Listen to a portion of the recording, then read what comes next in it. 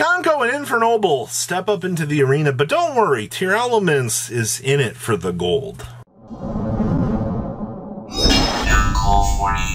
Make sure you guys smash the evil crap out of that subscribe button so you guys don't miss out on more Oz content. We're starting off here with our breakdown, and uh, that's three Purrely Duelist in the top cut for this event. Purrely was not having it for this tournament, man. They were prepared. They're like, you know what? The cat's out of the bag. And, and that's, that's the right pun, right? Anyway, um, I don't have much else to say about that. If you don't know how to play against Purrely, I feel like you're going to go into a really bad position, and that's not necessarily a good thing. We also had Bystial Synchro in your top cut, which, um, when you get the chance to look at this list, this is going to be so much different than the other versions of the Synchro stuff that we have seen as of late, that I think it puts an interesting new spin on the deck. And then we had one Tearlaments. Hmm.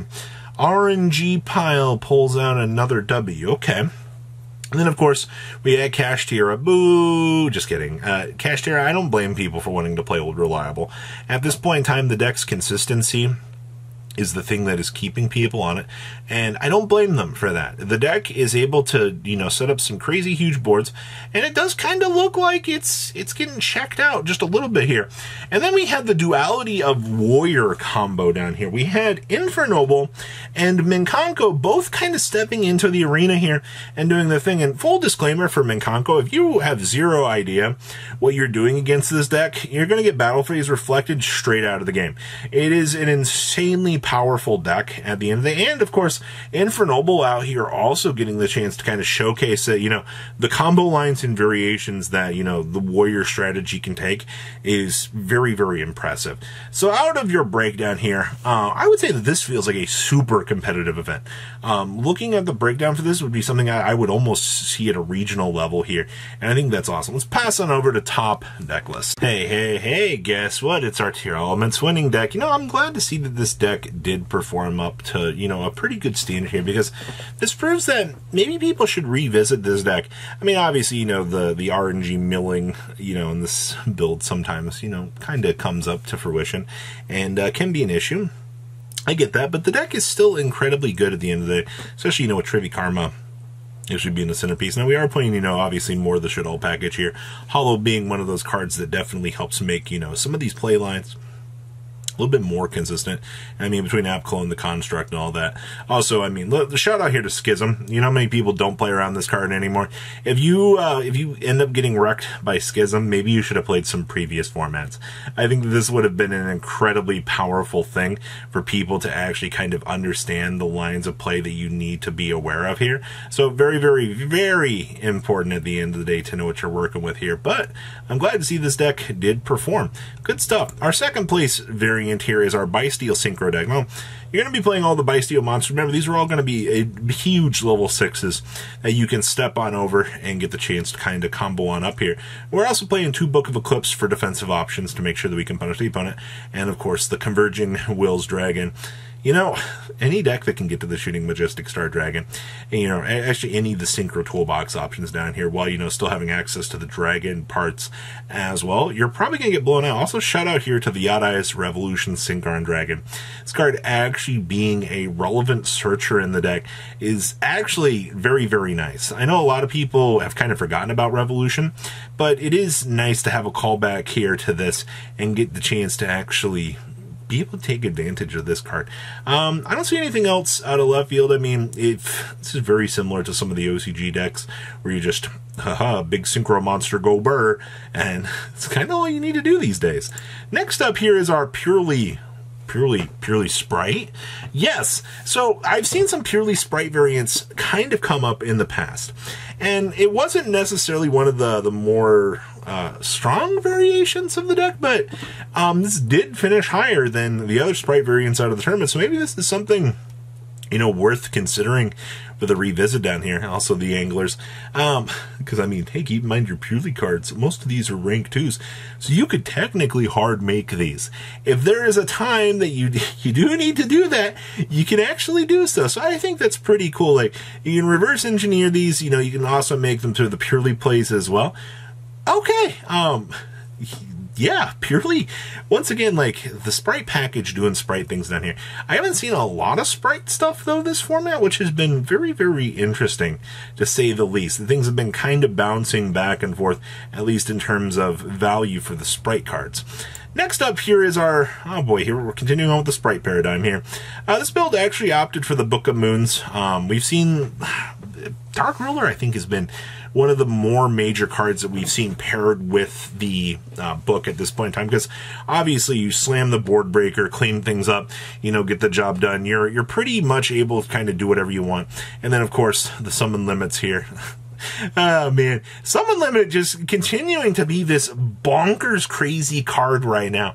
I would not be surprised if this card sticks around right now because there's so many combo variants out here that want to do the thing. It actually just lets you sit on the Nor here and you don't have to actually trigger the bounce. You just wait for your opponent to roll through their two summons, you flip this, and now your opponent's looking at you like, uh, what am I supposed to do about this? Like, this is unfair. And I get that. this is one of the most unfair aspects in the game of Yu Gi Oh! at this stage. So, kind of keep that in mind that this card gets stronger and stronger, I think, as the format goes. Uh, next up here is our Kashtira deck. We, we borrow an OCG tech choice here? Yes, it would appear that we did. Uh, we are playing the Planet Pathfinder here to make sure that we can go get the Raysloth. Um, also, I mean, this does technically bait an Ash. Um, though on the flip side of things, you know, the minute that we do this, we we do lose to Droll. I feel like so you're. I feel like you're using this to bait out those key hand traps that are going to be an issue for you, and that's not necessarily a bad thing. All right, the more that you can pressure out cards that are going to be issues for you, especially in a deck that does not give two craps about its normal summon. All right, it's like, oh boy, we went ahead and rolled this on out. I mean, obviously, birth, you can get the additional normal summon, blah, blah, blah, but um, this is just one more card to, you know, roll through a hand trap and get the chance to do its thing. So I'm glad to see that in terms of all variations of this, it's going pretty good out here. Next up here, more Purrely! We're playing the Purrely Sharely. I think I've seen seven Purrely variants at this point in time out of all of this, and not a single one of them have played Purrely Sharely. Like, the card is cool, don't get me wrong, but at this stage in time, so many people are just, they're, they're toggling through this and like, eh, I'm not worried about this. And I, I get that. That That's fine. All right. I'm. I, I do think though that the card is worth the, the revisit. Maybe um, this build also is playing two copies of Nor, which is fine, and this build is also playing the Linkuriboh. So there's still sometimes you you're that nightmare corrupt Ridley scars you for life. You need to make sure that you have cards to be able to play through that and you know not worry about getting punished from it. So I think that's actually incredibly good. Outside of that, I your bases are covered for the variants. I think that's fine. Ah, hey, it's our Minkanko deck, aka Battle Phase Reflection. And we are playing the Arahime the Manifested Minkanko, which is the new one. I know a lot of people look at this card and they're like, I don't really see a purpose to play this. And I, I can see the argument either way. It's going to come down to, obviously, deck building. Do I want to go ahead and play this? But obviously the Minkanko Spirit Walk down here. This is by far, I think, the better card of the two. So the fact that you are getting, you know, the chance to play this is good. Um, this is just Battle Phase Reflection Dot deck. I, I, say this all the time, but if you have zero clue what in the world is actually going on around you, or you're like, oh boy, Minkanko, and then you're like, wait, I just I lose. If you don't have outs to some of these monsters, you will lose the game. Especially when the, the Huli here goes into the protection mode and your opponent can't target your stuff. You're like, oh, you forget how hard Yu-Gi-Oh! can be when your cards literally are untargetable. So kind of keep that in mind at the end of the day. I uh, A lot of free value going on here. And of course, we have the powerful Noble Knights here. I see that we are citing the Vices package down here with the Mannadium reframing, which, I mean, you are technically, I believe you end on Charles with Charles you know, pun intended. Um, but you uh, you do get access to some of like the reverse combo lines down here. This isn't something that you're going to be doing every single game, but I believe that if you feel that you do need to have access to the Mannadium reframing, you know, just being able to board this in and get to, you know get it off the ground is very nice. I haven't seen a lot of people going about this. Um, outside of that, I mean, Charles with the setup here with the additional special summon off of this, with whatever sub combo lines that you have going on here, are honestly the best things you're going to get off of this deck. This deck is incredibly powerful. The combo lines that it sets up is some of the best in modern era Yu-Gi-Oh! Honestly. So, uh, what do you guys think about today's goodies? Please, if comment down tell me what you guys think. I'll see your beautiful faces back here. There in day, guys. Peace. Patrons, thank you.